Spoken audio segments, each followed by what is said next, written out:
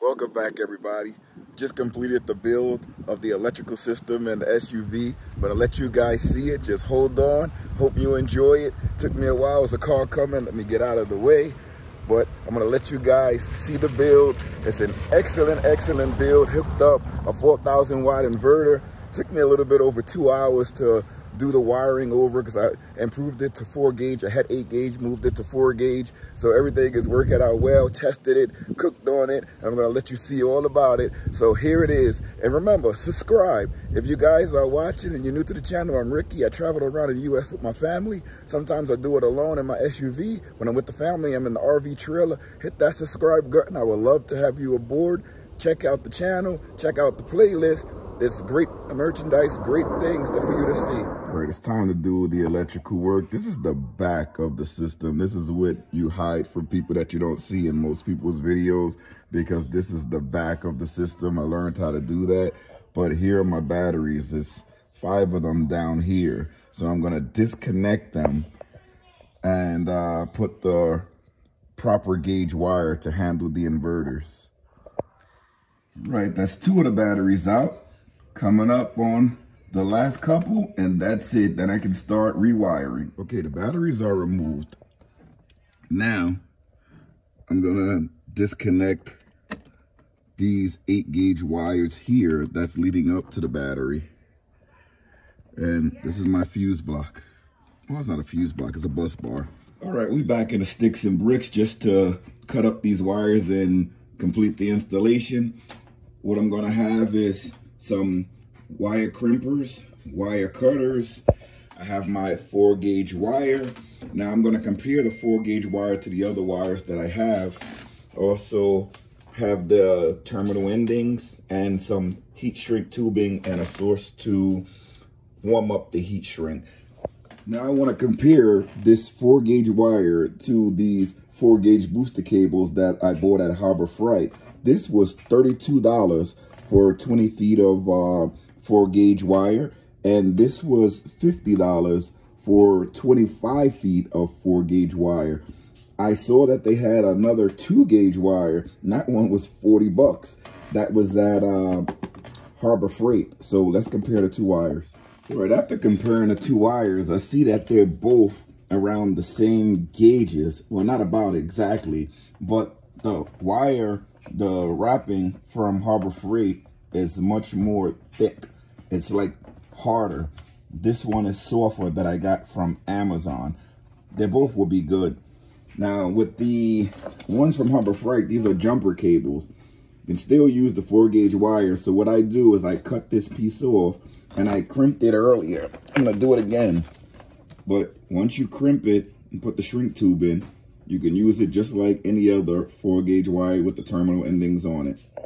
Here's a side-by-side -side comparison. This one is the 8 gauge wire that I was using is really thin.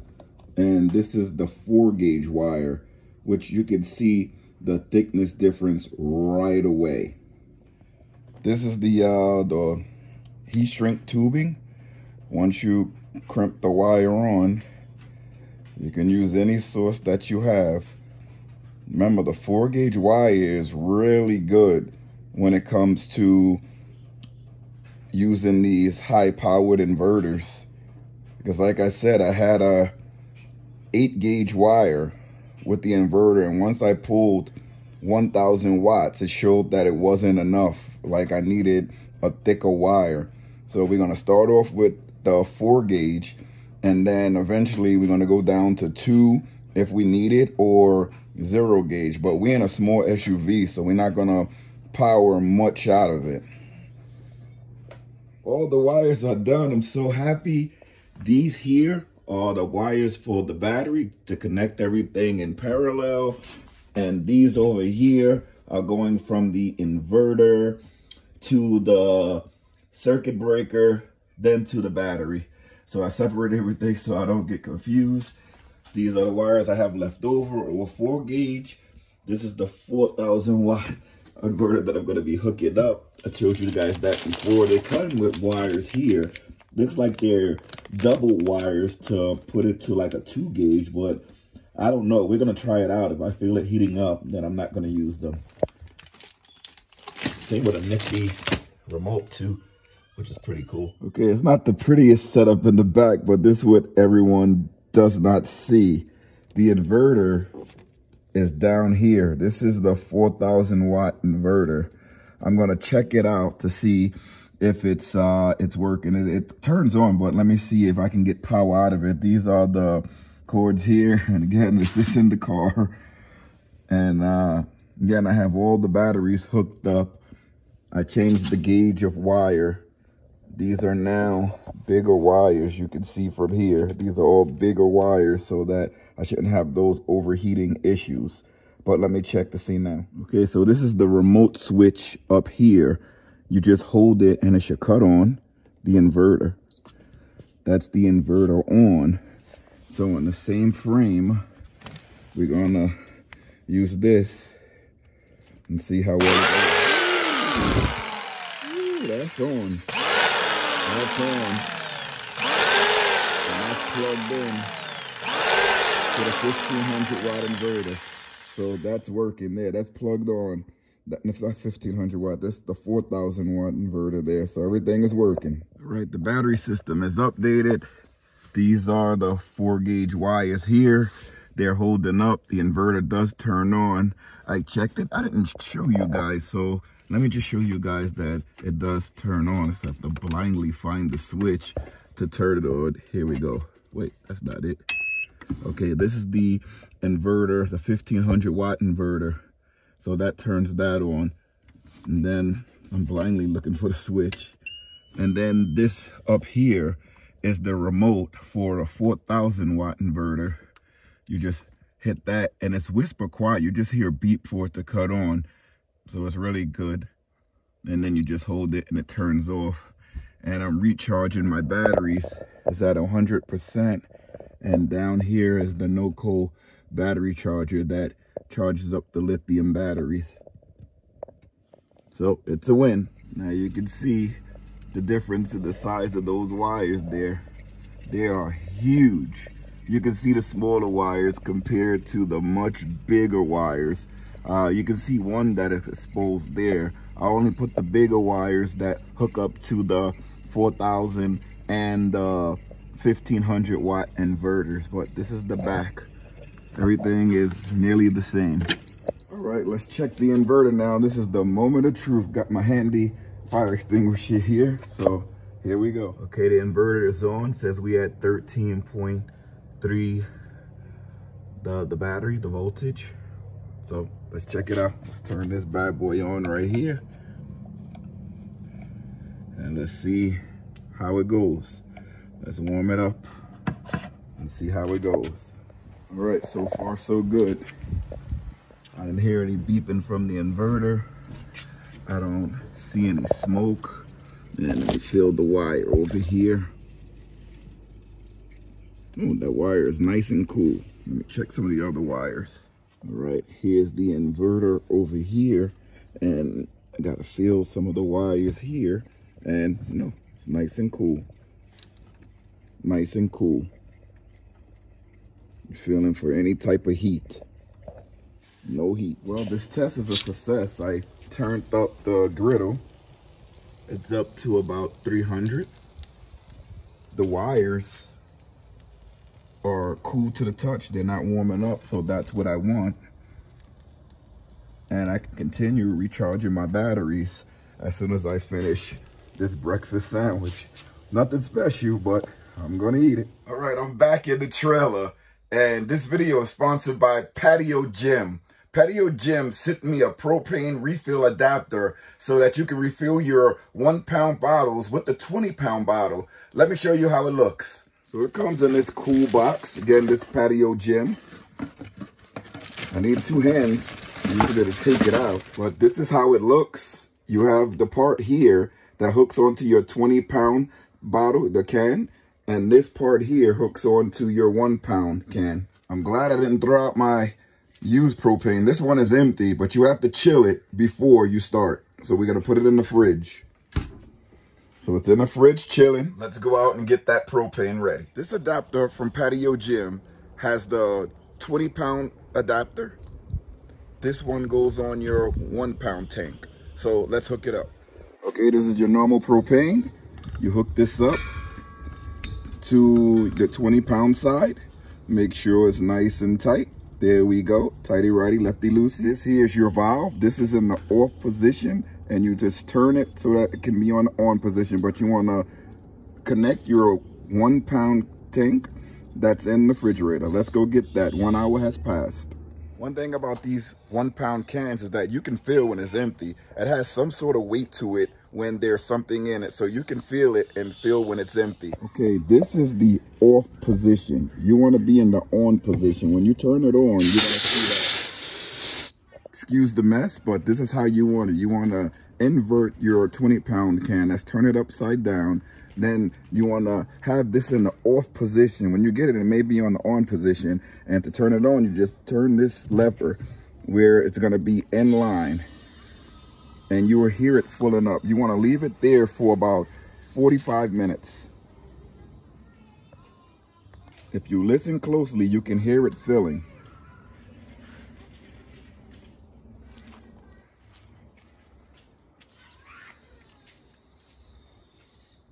Usually takes about 40 minutes. I'll leave it 40 minutes. Some people leave it for an hour, but remember to chill the one pound bottle first. Break and watch the kids fly it down the hill over here. They like that bad boy.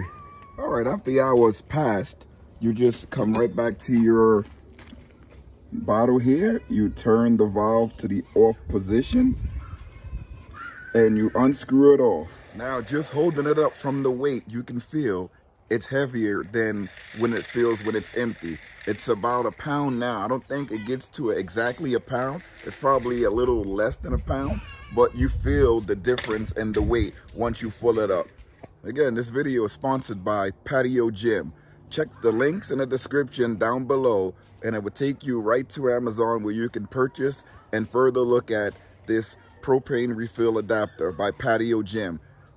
It works with the one pound bottle and the 20 pound bottle. You can transfer the 20 pound bottle to the one pound bottle and you never have to buy these again. These are getting really, really expensive now. So thank you Patio Gem for sending this to me. Here you go guys. Link is in the description. Ah, welcome back guys. I'm on my walk as usual. Have to go to the market today to buy some stuff for the family. But after that, you know, we get to come back and just chill out and relax. I love these days off. Seems like they don't come by soon enough. I should start posting more, you know, just to keep you guys abreast of all my journeys. Whew. But it's just so much work. But I'm happy to be off today. Even I got my dog with me. He's having fun. Mac, you having fun? Let let you guys see Mac. Mac loved these journeys. He just walks. I have to pull him back. You should have saw him. We saw a deer not too long ago. And by the time I got my camera out, the deer already ran away. But he had fun looking at the deer. The deer actually came close to him because he acts very submissive when it comes to other animals, children, and adults. A great dog. My wife just bought me some sandals from uh, Amazon. Love Amazon. But these things were replicas. They were really good looking Nike sandals, but they were replicas. And I was so upset. You know, I contacted Amazon to let them know that uh, they were replicas. They were not authentic. And they told me it was from a third party seller. So I told them, you know, it's better to reconsider those third party sellers because of them selling goods that are not authentic. Now, when people buy Nikes, you're going to want an authentic pair of Nikes, especially if you pay $70 for some sandals. But the representatives from Amazon were really nice. They told me to keep the sandals and they refunded me the money. Now, the problem with the sandals were was that Nike, they're not going to make a sandal with a plastic bottom. It's rubber. Plastic is very dangerous if you're on like a slippery surface. You go sliding. So they refunded me the money. I let them know exactly what was wrong with the shoe. They did put some like uh, material on parts of the sole just to make it seem like you won't slip, but that will wear off right away. Nike doesn't do that. I've been wearing Nike sneakers and sportswear for over 20 years, And I've never seen that before, so I knew it was not authentic just from touching it. But they did let me keep it. I'm gonna walk with it on concrete. I'm not gonna walk with it on uh, slippery surface, but I'm gonna let you guys see it. They're nice looking shoes, but they're not authentic. If you're a seller on Amazon, please don't sell things that are not authentic. We don't like that. Here are the shoes here. From far, they do look authentic. They don't feel like Nike shoes though. They feel like cheap shoes that you would buy from a cheap place. But I'm gonna wear it. You know, Amazon said I can keep it, but it's not great to sell things that are replicas and sell them as they're authentic. Look at this beautiful pool.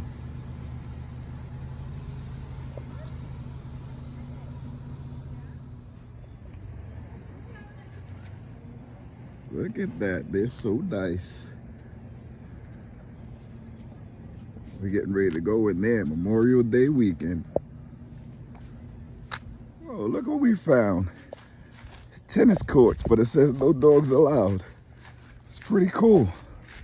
Have some great things over here. Ooh, spongy. You like it in here? You know how to play tennis? Yeah. This is cool, right? Yeah. Come on. I'm gonna get you. I'm gonna get you. Walmart, here we come.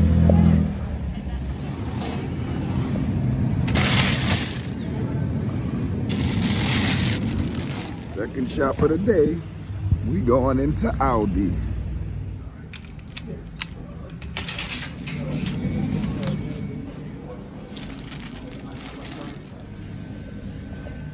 Oh, they don't have the patties I was looking for. Right, we gotta head back and get our quarter.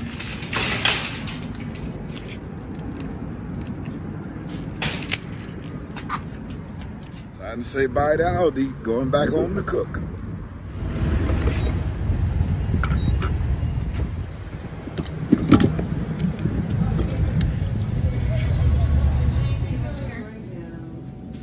Let's see, today's damage, 6057, 16 gallons, not bad. All right, we back from the market. Hope you enjoyed that short video sponsored by Patio Gem. They're great, check them out, links in the description. I'm about to make these burgers and put them on the grill and the car because we're still testing out our system. Right, I'm ready to go. I'm cooking in the back of the uh, SUV. I'm ready to go. I'm still testing out everything. So let's go. Sunset in the background. Got the burgers on right there. Have some little bit of seasoning. Here's the grill. I smell it heating up. Using my bed. I don't have a table. Got to put one in here. Let's go. We're going to try to do four burgers at a time. Put a little bit of onion powder. No has too much.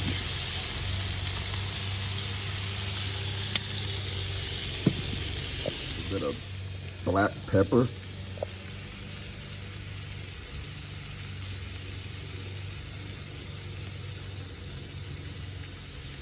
You ain't living unless you have some Mike's hard lemonade. Oh yeah. We have about, what, one, two, three, four, five, six to go. And we can eat the dinner. Ooh, I can't wait. I can't wait.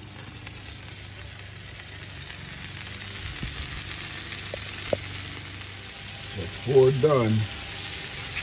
Four more on the grill. Time is limited, so we had to throw six burgers on.